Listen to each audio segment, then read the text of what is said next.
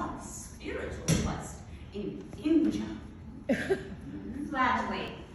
Flagellate. Um, that's a bird, right? Yes. May I have definition? Oh, I'm sorry. I need to ask you to speak directly into the microphone. Oh, sorry. Oh, don't be sorry. Just turn and face us. No, no. No, Walk pivot. towards us. Pivot. That's not the direction. All right, you know what? This girl needs to learn how to stand like a Back straight. Shoulders back, chin up.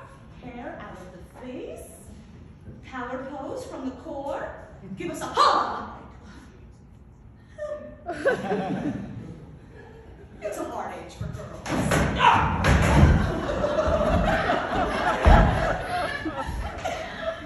I fell. and boys. With this difference, ask a child if they expect to win a spelling bee, and girls are trained to respond differently. The correct response for boys is I'm taking it all! You're all going down.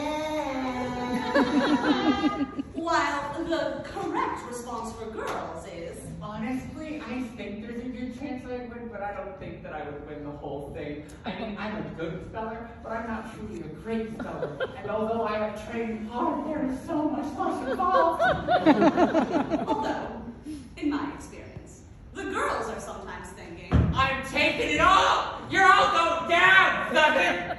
while the boys are thinking, I really don't know.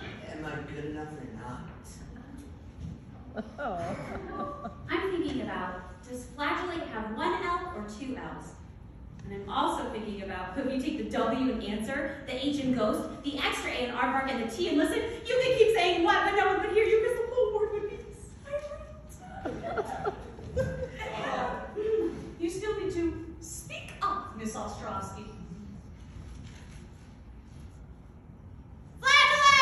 X!